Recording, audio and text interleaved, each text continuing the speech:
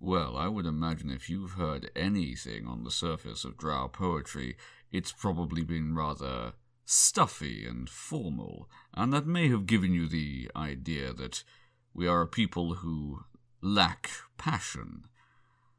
As you might say in Sewell, au contraire. Verily, we are no strangers to love. Thou knowest well the rules, and so do I.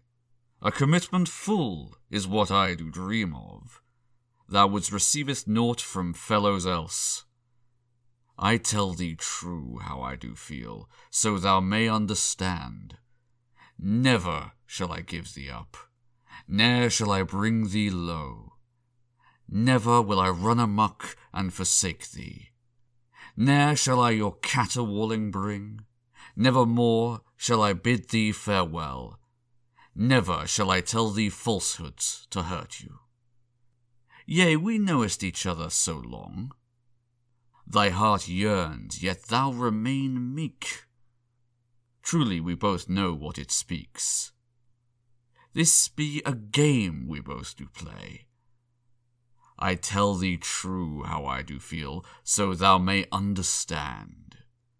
Never shall I give thee up, ne'er shall I bring thee low, never will I run amuck and forsake thee. Ne'er shall I your caterwauling bring, never more shall I bid thee farewell. Never shall I tell thee falsehoods to hurt thee.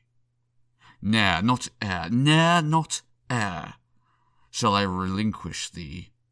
Ne'er, not ere, ne'er, not ere, shall I relinquish thee. Yea, we knowest each other so long. Thy heart yearns, yet thou remain meek. Truly, we both know of what it speaks. This be a game we both do play. I tell thee true how I do feel, so thou may understand.